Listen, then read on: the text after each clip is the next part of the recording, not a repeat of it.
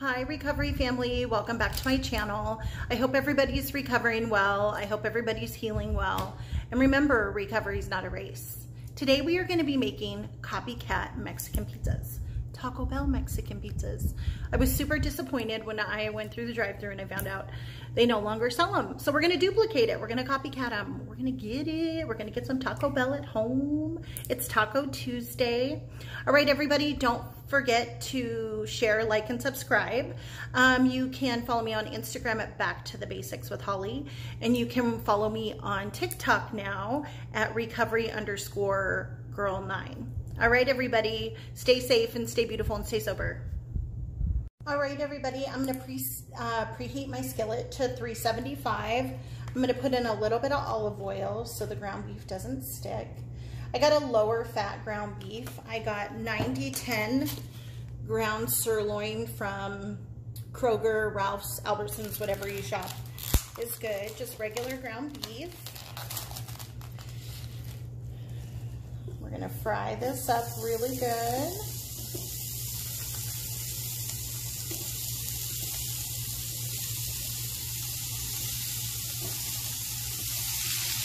Yeah, I was super disappointed when I found out that they don't sell the Mexican pizzas at Taco Bell anymore.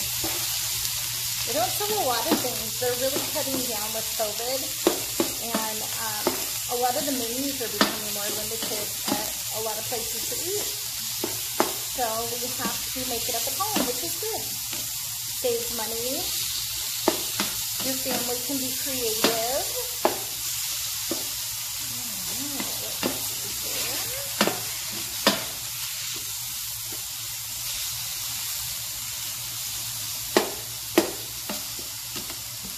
All right, we're gonna let this cook up all the way. is cooking up really good. There's not a lot of fat on this, so I'm probably not going to drain it.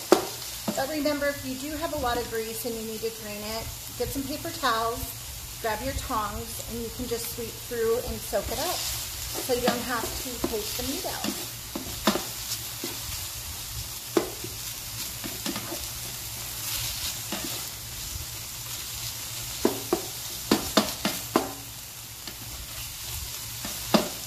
This should be ready shortly. All right, so I'm gonna add my taco seasoning. Um, I'm using Old El Paso. So I'm going to add a half a cup of water.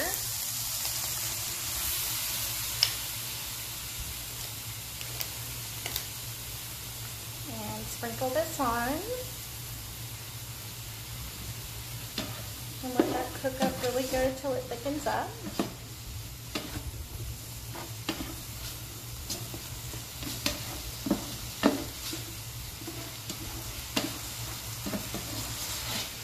My favorite spoon. It almost looks like a cat, like where you scoop cat poop, but it's not. It's an actual kitchen utensil. It's just a wide mouth spoon and it works so good. Get a little more stirring coverage with this, I feel like. I like it. All right, well, I'm gonna put this on warm and we're gonna go fry up our tortillas.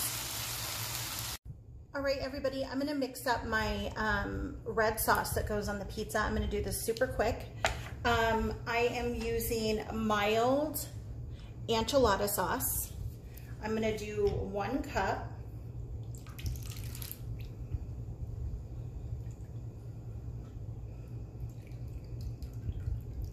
Because I think the sauce goes pretty far. And I am just going to add some diced fire roasted Hunt's tomatoes because if you remember in the pizzas there was a little bit of tomatoes and um, they're a little bit thicker so I'm just going to add a few to add more substance to the sauce. So I'm going to chop them up really good. I'm just to actually go like this they're already pretty diced.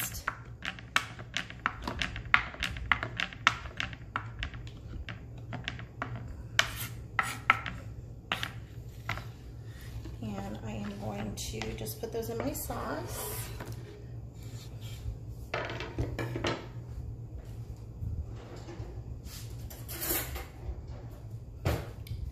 Stir this up really good. And you can add more tomatoes if you want. It just looks like it has more substance for the sauce. So I like the tomatoes in there. All right. And we are gonna get our pizza put together. All right, so I have my oil preheated and I'm just gonna put my flour tortilla in. And you don't have to fry them that long because they get pretty crispy quick. You don't want them to turn brown. And use very long tongs when you do this because if there's any oil in it, see how fast it, it gets crispy. Does not take long. And you can also put these in your air fryer to make them crispy too. Spray them with some Pam and then you can put them in the oven to crisp up for an additional five minutes. All right, everybody, we are going to build our Mexican pizza. So I have my first tortilla shell right here. I'm going to add a layer of beans. And I'm using the vegetarian beans because I have people who live in my house who don't eat pork. And if you didn't know, most refried beans are cooked in lard which is pork fat. So, and you can also use ground turkey or whatever kind of meat you want. We're gonna, it's getting away from me here. All right, so we have that. I'm gonna add some ground beef here, my taco meat. Sprinkle that all around. Is actually really simple. And you can make them on the big burrito tortillas too if you want. So you can make like family pizzas. Or you can just get the super thin pizza crusts and kind of duplicate the sauce and everything at the same time. It's up to you. You can utilize the recipe. You have all the tools and you can put it together the way you like it. All right, so we're gonna get another tortilla here. We're gonna put this on top. There's some of the bubbles. And I'm going to put my chunky enchilada sauce on top. Oh my gosh, this is gonna be so good.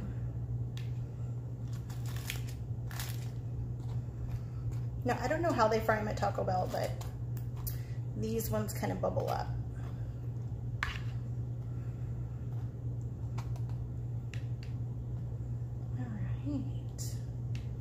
Gonna be gorgeous. Yum, yum, yum. All right. Then I'm gonna put my favorite ingredient. I'm gonna use the Sargento four Mexican cheese, four cheese Mexican cheese. I'm gonna put this on top.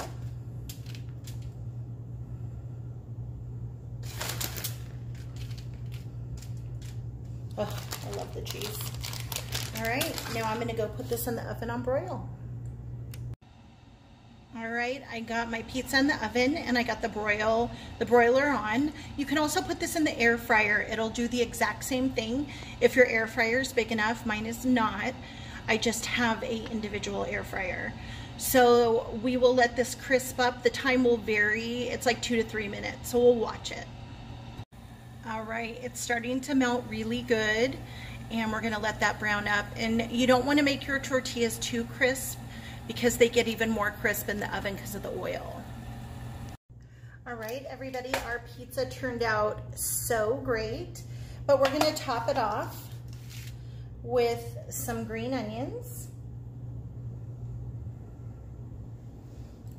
and some olives. And you can put the olives on now or you can put them underneath the cheese. It's up to you. You can cook them. I like mine fresh. Um, all right, everybody. So as soon as you get all the ingredients, you can make your Taco Bell copycat pizza, Mexican pizza. All right, everybody. Happy Taco Tuesday. Stay safe, stay beautiful, stay sober. See you next time.